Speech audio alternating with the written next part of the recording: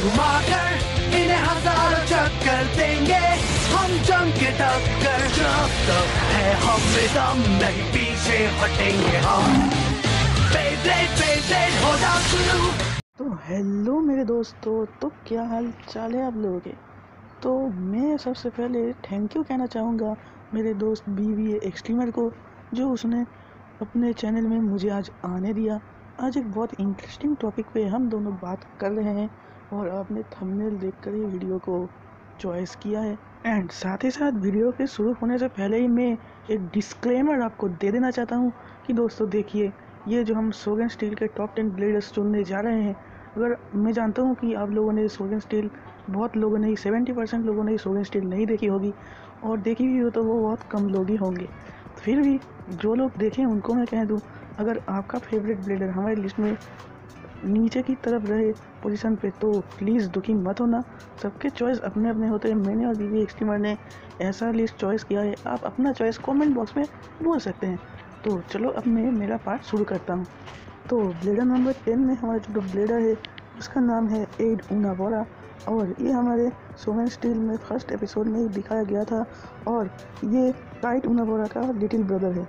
और ये बहुत ही अच्छा बेब लीडर है और ये थोड़ा बच्चा है। कच्चा नहीं है, लेकिन बहुत अच्छा बच्चा है। ठीक है, और इसे स्केटिंग करना बहुत अच्छे से आता है। और बेबलेट भी वो उतना ही बहुत अच्छा से ही कर लेता है। और इसका बेबलेट का नाम है ओरोची हाँ आपको नाम थोड़ा अजीब लग रहा होगा, लेकिन सुपर स्टेल के बेबलेट में ऐसा ही नाम होता था बेबलेट्स के। तो ये ब्लेडर बहुत ही बढ़िया ब्लेडर है। अगर आप इसका लुकिंग के जाएँ तो ये बहुत अच्छे अच्छों को पसंद भी हो सकता है। बहुत हैंडसम ब्लेडर भी है। लेकिन बच्चा है गाइस इसलिए मैंने इसको नंबर टेन में लगाया number nine Kite Unabara Kite Unabara भी बेबलेट की शगुन स्टील सीरीज़ का one of the main character है।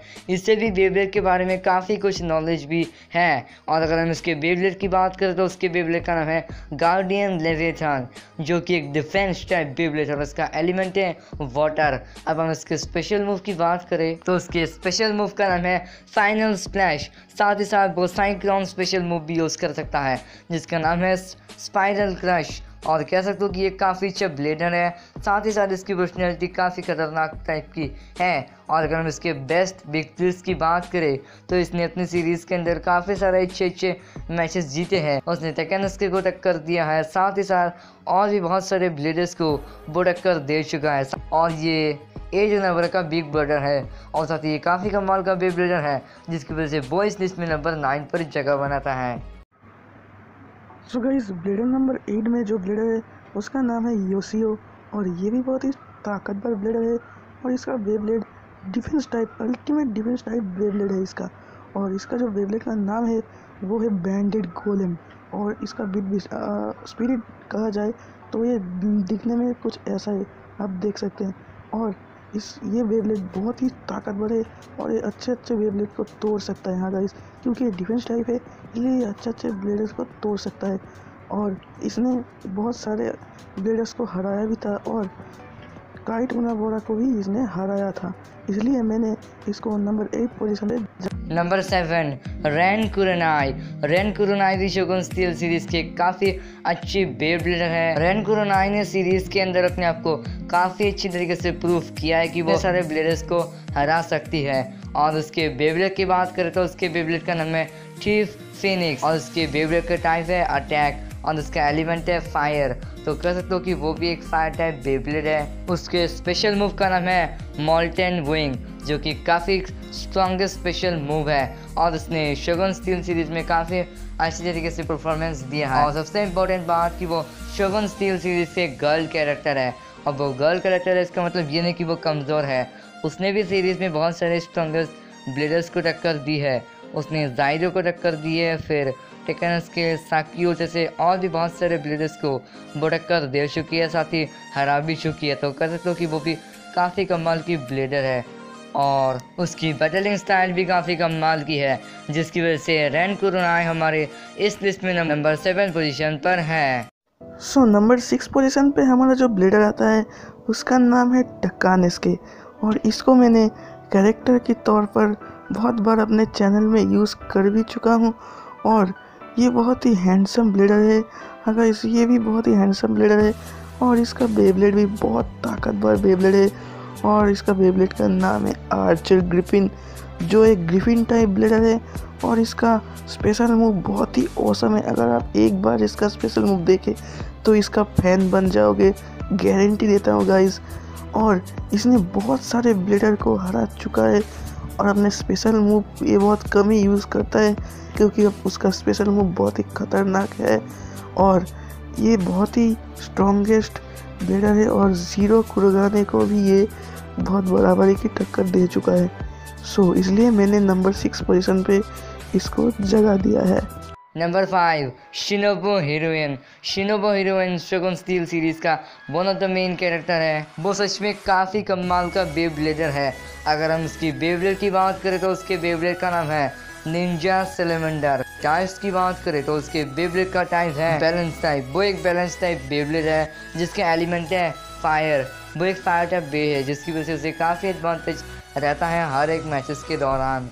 और अगर हम बात करें उसके स्पेशल मूव्स की तो उसके स्पेशल मूव्स का नाम है phantom fire shot blazing rain shot और साथ ही साथ सुपर बर्निंग अपर कट जिससे कई सारे हमले वो यूज़ कर सकता है। साथ ही साथ वो शुरुआत में पहले उसने जायरो को उगाने यानी कि सीरीज़ के मेन कैरेक्टर को हराया था। और ऐसे ही सीरीज़ में आगे बढ़ते बढ़ते वो टेकन उसके साकियों को भी टक्कर दे चुका था।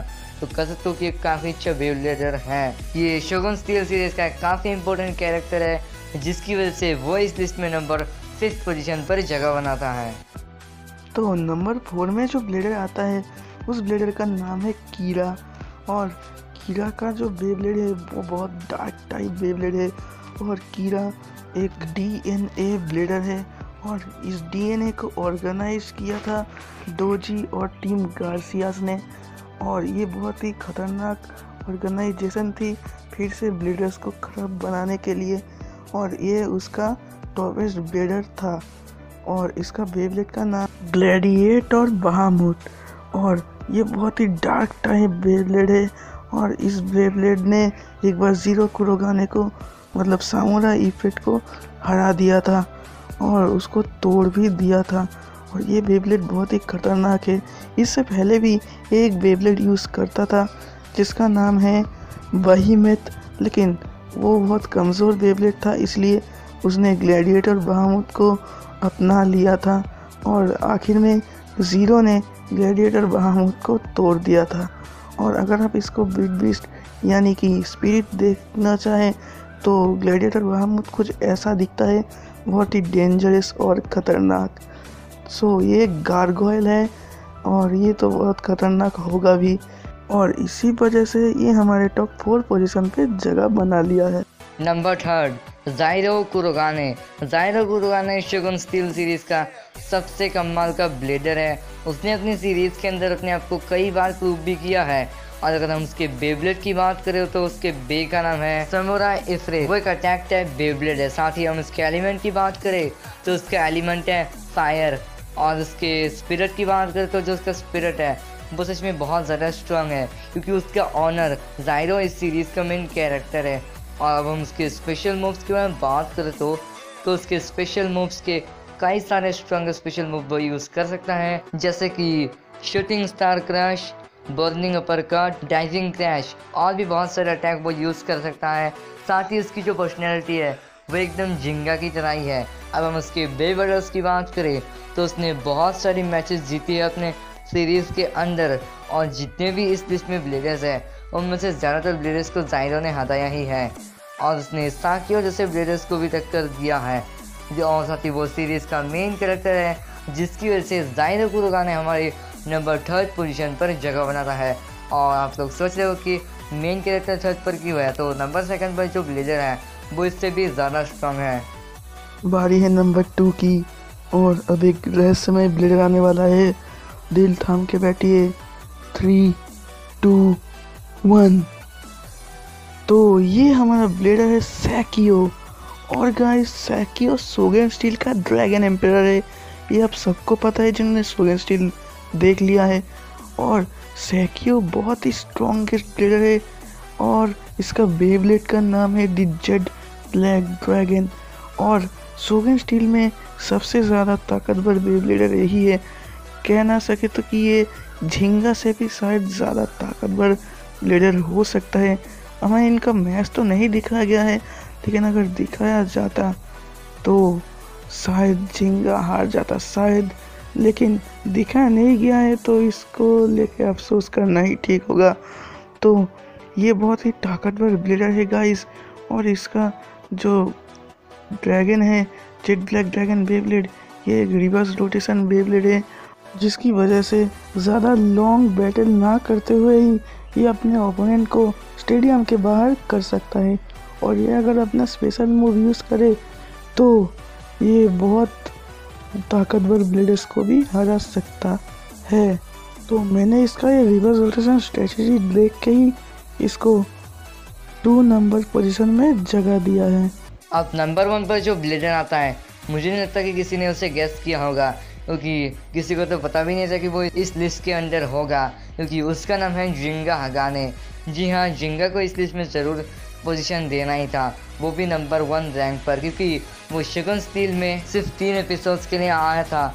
और उन तीन ही एपिसोड्स में उसने काफ़ी कमाल का परफॉर्मेंस दिया। साथ ही साथ उसने बहुत सारे बैटल्स जीत तो नहीं पाया, क्योंकि उसने सिर्फ़ दो ही बैटल्स लड़े, जिसके अंदर एक हमें रिज़ल्ट नहीं पता चला जायदो के साथ। पर दूसरे मैच के अंदर वो जीत गया था। जब वो शगुन स्टील के अंदर आया था तब वो पहले से बहुत ज़्यादा स्ट्रांग हो गया था।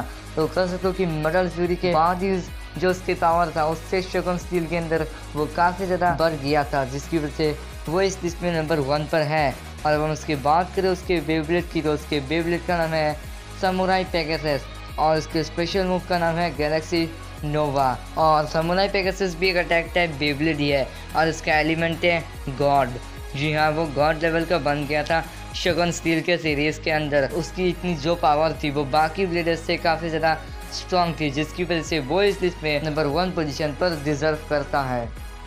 सो so गाइज़ अगर आपको मेरे पार्ट्स बहुत पसंद आए हो तो होप करता हूँ आप मेरे चैनल को ज़रूर सब्सक्राइब करोगे। वैसे तो मेरे चैनल का नाम न्यू मॉडिफाई बेबलेड है, लेकिन उसको छोड़कर भी मैंने एक नया चैनल ओपन किया है। जिस चैनल का नाम है योर एनिमे गाय।